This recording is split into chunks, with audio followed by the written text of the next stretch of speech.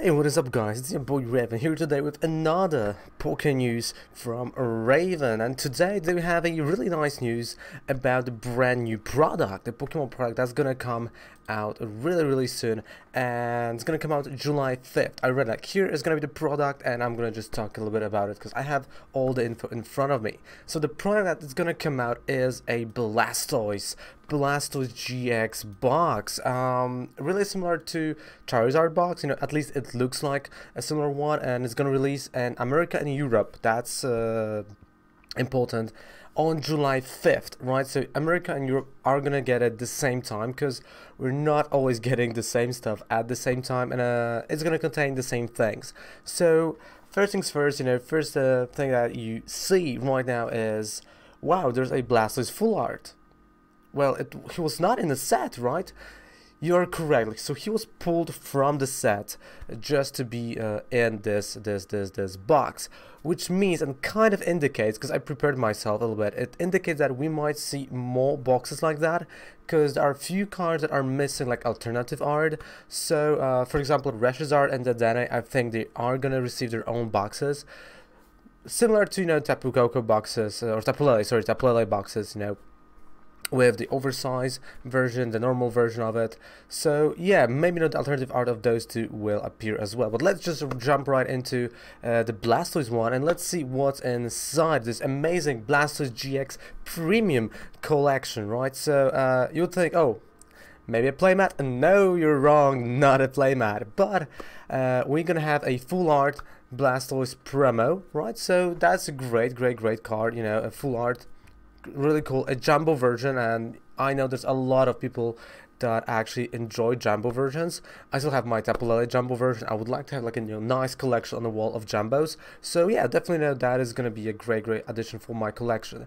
Uh, then foil promos of Squirtle and Wartortle. Right, so we're going to have a nice foil promos of uh, Squirtle and Wartortle. Uh, I'm looking at the art of the Squirtle and Wartortle because you can see them right you know you can see them uh, right in the middle on the left and right and those are uh, not I don't think they are alternative art promos they are just like they look like reverse holos but again that's just a picture we might you know actually see a nice you know alternative art of those cards because they look to me as you know reverse holos from uh, unbroken bonds. But let's go uh, further. A blastoise pin great. A blastoise coin you know so both you can see there on the picture. And again pin collectors are gonna oh sorry pin collectors are gonna love it. Like pin looks great you know you can see it on uh, the left side. And of course coin there's a huge market of people that are actually you know uh, collecting coins so yeah why not and we're gonna have six booster packs and the PTCGO card as well, right? So code for the online. Uh, from what I've seen, those are gonna be only unbroken bonds packs. Uh, I do not see any evolution packs, so um, we you know we might be happy about that. I don't know about the two packs that are behind Squirtle and Wartortle. Like I'm just not sure about those because on the left and on the right we have unbroken bonds definitely. So uh, as I said, you know, the full art version of the Blastoise, you know, you can't get it in the set, right? You can't pull it from the booster just because he is right now, is going to be in uh, this amazing box. So, guys, what do you think? What other cards we're gonna see in the box? Am I right telling you that you know the, the, maybe Dedenne, maybe Reshizard? Oh, that's definitely you know uh, because there are definitely a few cards that are missing those alternative arts. Like you know Persian is missing one, I believe.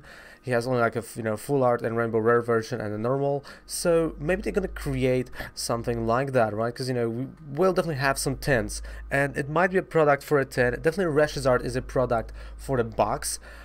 Would I would love it. Oh, I'm gonna sneeze.